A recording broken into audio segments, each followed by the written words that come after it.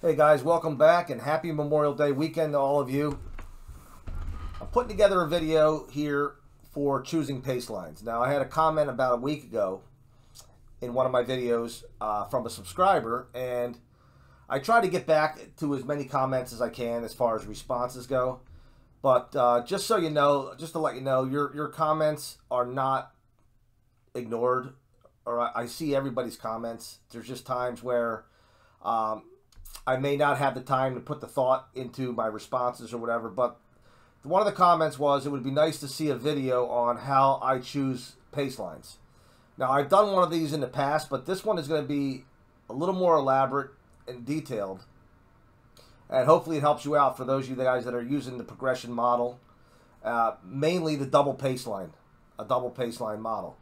This video is going to focus on things I look for to choose my first pace line and things that I look for to choose my second pace line.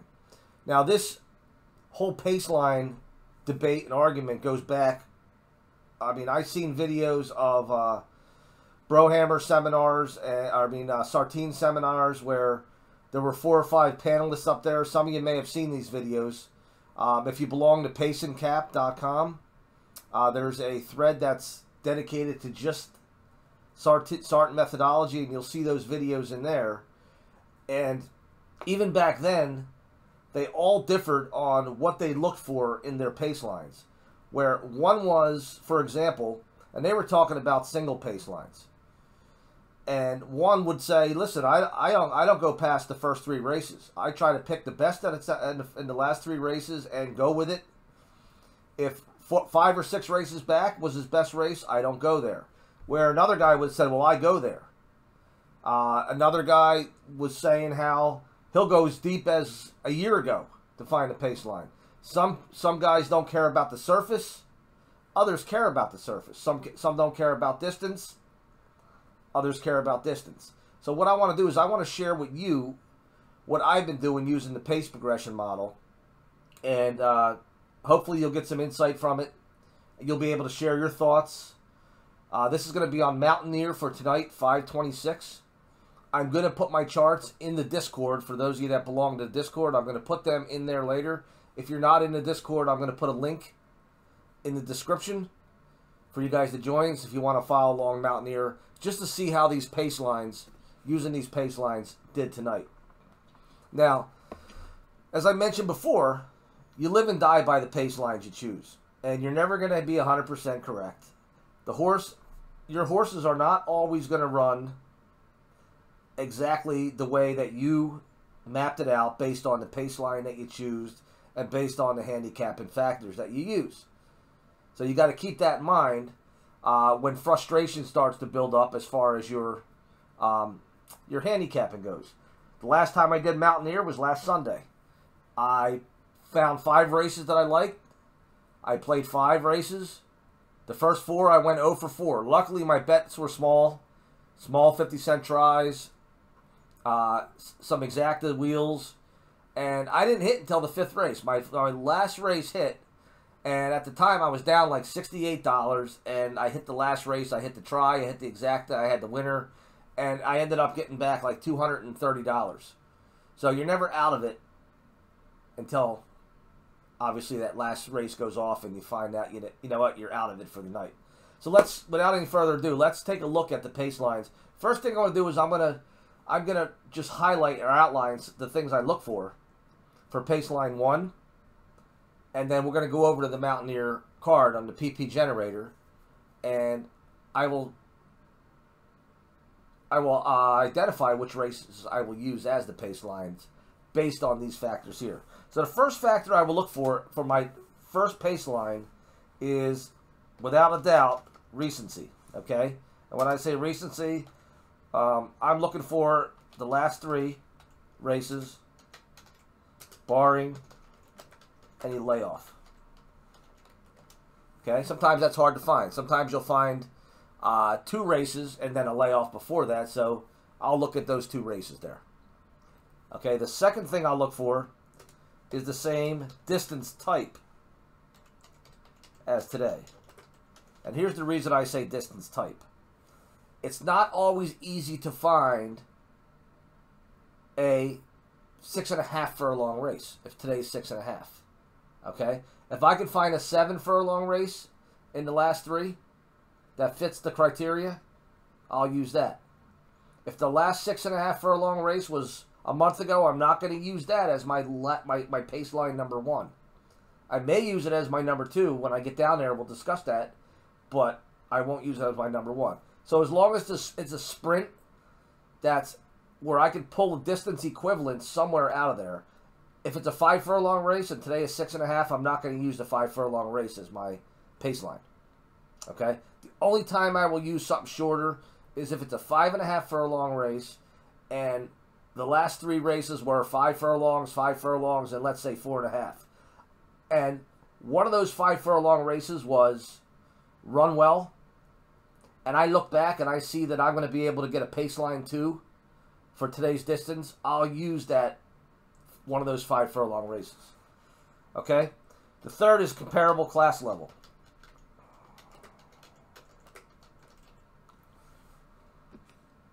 If today is a 10,000 for uh, 10,000 claiming, non-winners of two, I'm looking for a 10,000 non-winners of two.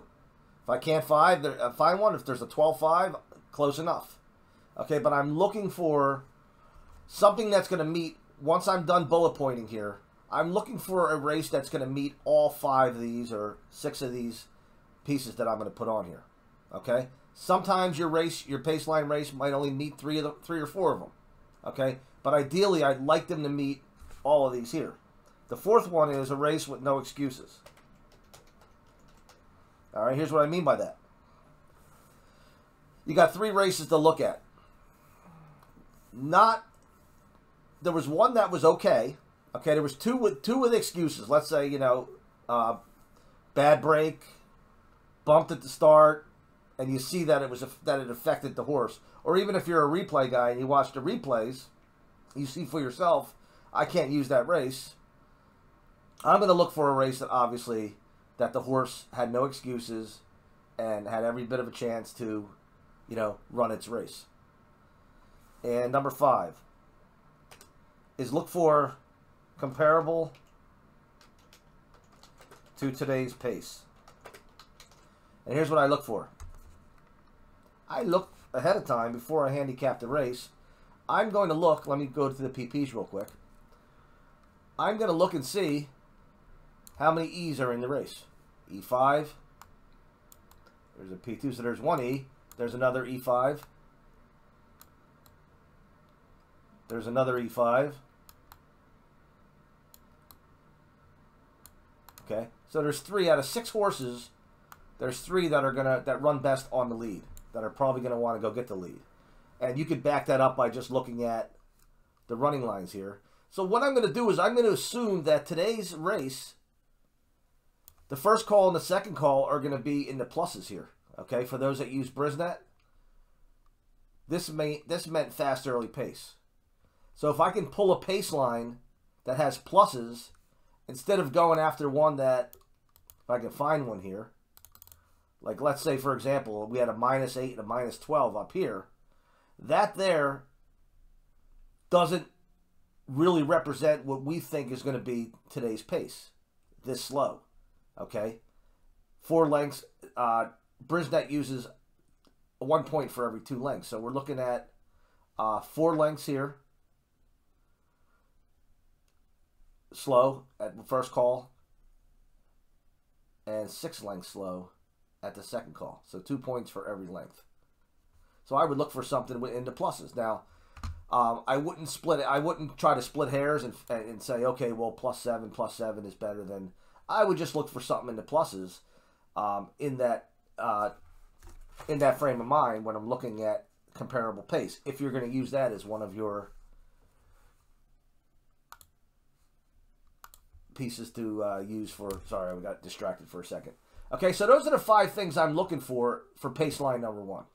Okay, if I can find a race that has all five, that's great. Okay, you might have a race that you, you're, you're projecting a fast pace, fast early pace and there's you're looking at a horse, and the last three races, the horses come out of slower races, races with minuses. Well, what I would do is I would look for the the, the, the one that would be closest to, to zero when you added them up. Okay? The fastest of the slow those slow races, I would look for the fastest one. Okay, so if I had these three to look at, plus one, zero, zero minus one, zero plus one, it would probably be either this race here with the 81 or this place race here with the 82. Okay? Because of the today's projected pace. All right, so that's pace line number one. Pace line number two. This is where we reach back, okay? And I will reach back as far as three three form cycles here. So let me put that down.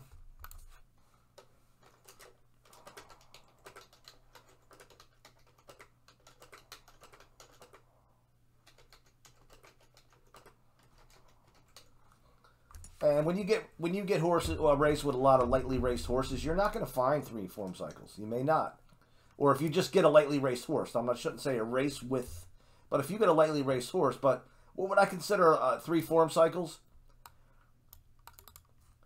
I would say this is form cycle number one. This is probably maybe every every three races could be a form cycle. Okay, there's no layoffs to deal with here. And then this, I may reach all the way back to the bottom of this page to find this second pace line. Now you may look at that and say, I don't, I don't agree with that. You're going way back here. You're going back to coming up to a year now, July 23rd. Well, there's a reason why head scratchers win races. Okay, you look at a race and you might see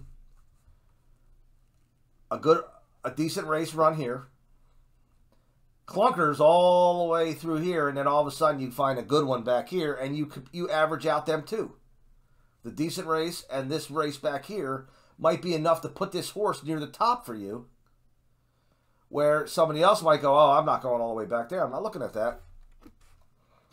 When you're not going to be right 100% of the time, why not just, the game's a gamble anyway, why not just gamble and pull that pace line and use it and not worry that you're going back a year. Okay, especially when you look at certain ages of horses. Okay, if it was a three-year-old year and the horse is a four-year-old, um, you know what? Hats off. The, the horse is probably a better horse at four. If you could pull a pace line when he's three years old, and it puts this horse toward the top of your selections, and he's going off at a nice price, that might be the horse that makes money for you. So I will go as far back as three form cycles. Okay. Now, when you're dealing with layoffs, sometimes form cycles are a little more recent. Okay. When there's no layoffs, you may, you know, you can go back as far as a year sometimes. Okay. So let's look here down real quick. And I'm not going to, here's a layoff. So I might look at that as form cycle number one. Okay. Form cycle number two. Maybe I'd split these two, this, this little area here into two different form cycles right there. So I might go as far back as this layoff of November 20, 2023 to find my second pace line out of here. Okay, the second thing I'm looking for is, again, today's distance. And I'm not going to put distance type because the reason I put distance type here is when you're looking at pace for pace line number one, I'm kind of handcuffed and strapped the, for the last three. If I look at, if I'm looking back as far as three and four cycles, I should be able to find a race at today's distance. Then if I can't, then I go back to the distance type. All right, but if today's five and a half furlongs, I want to use something that's five and a half furlongs that meets the other criteria. Um, sometimes you have to make a decision, okay? Today might be a fast pace. I only have one five and a half furlong race, and it's projecting a very slow pace, especially second call. But yet, if I go back to the six furlong race, which isn't today's distance, but it's the same distance type, and it matches more of what today's pace may look like, you have to make a decision as the handicapper to determine which of the two that you use. Me personally, I would go with the six furlongs race, especially if it's better speed figure, which it is, a 79 over 76, I would go with that one, okay? But again, you do as you know, you do as you do. It's it's up to you. It's your choice. Let's look at the third factor. Again, comparable class level. And this might be the one that finds you the long shot. I'm going to give a hypothetical here. Ignore this here. Let's find a horse that's running lines. Haven't been that appealing. If I can find one. If I can't, I'll just use a hypothetical. Here, here's my hypothetical. Let's look at one more. Here's my hypothetical, okay? I use, for example, I use a pace line up here for my first pace line, okay? Which is a dropping class. Let's say this horse broke its maiden way down here.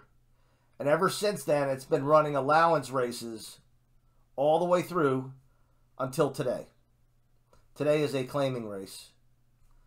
And I pull my first pace line from up here because I have no choice. I pull it from a class, a class that's a little bit higher than today's or maybe a lot higher.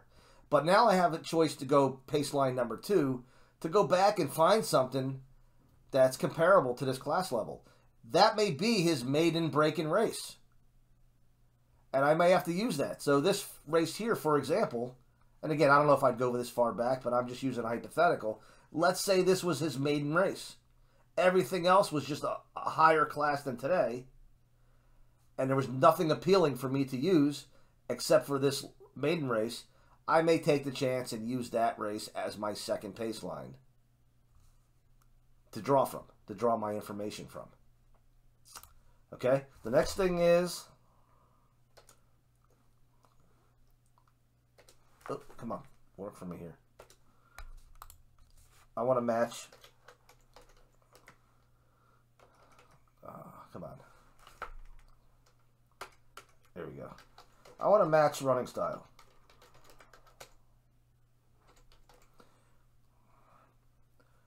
This is another one of those things that if he's an E runner, such as this horse, you might be strapped where your last three races he may not have had the lead. He might have been in a stalking position, but he runs his best races when he's on the lead. I want to find a race, if I can, where he's on the lead in the first couple calls to use as my second pace line. Okay? If I have a race, for example, that I could use in the first most recent that reflects his running style, then I will use that as my first pace line too. I did not put that in there. I should have. But I'll add that right there.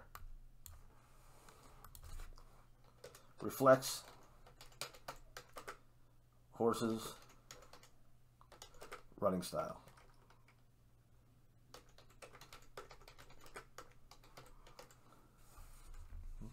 All right, so same thing down here. I want to match the running style. Also, com again, comparable pace.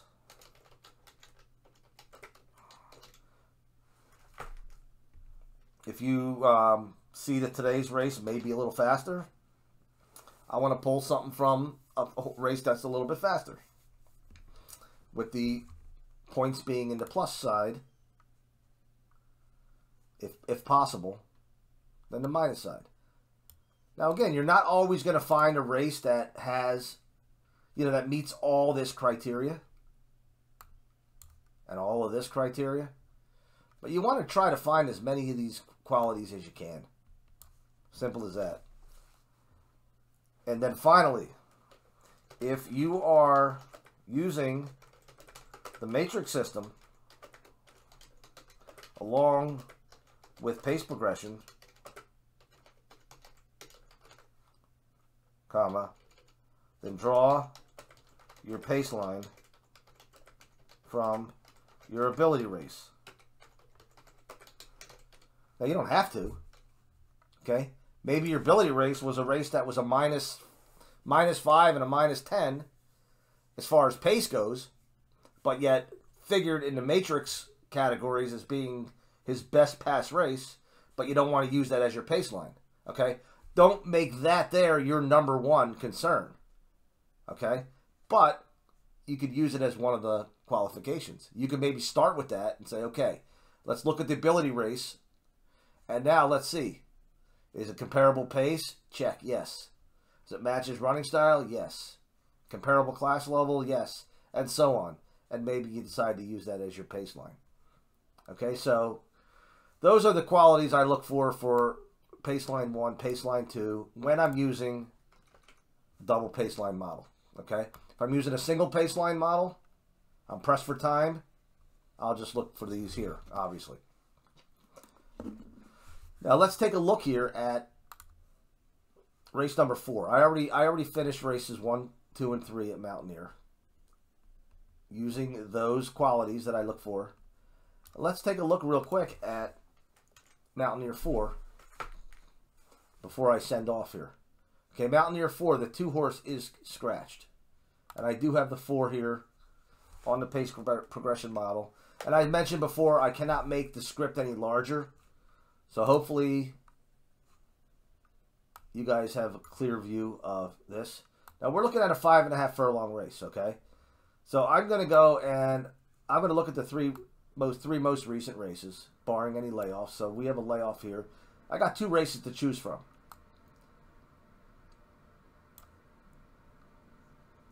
Matches his running style, even though it's five furlongs. But I'm handcuffed. I'm going to use that as my pace line number one. So I'll go 22 and 4. That's a 96. 46 and 2, which is an 88.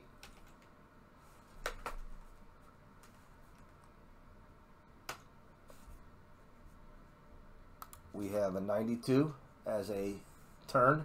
And again, I showed this in my last video. When you're doing sprints and you're using the 22 and the 44, all you got to do is take your ratings, find the difference, which is a difference of 8. Subtract 8 from 100, you have a 92 rating on the, on, on the turn.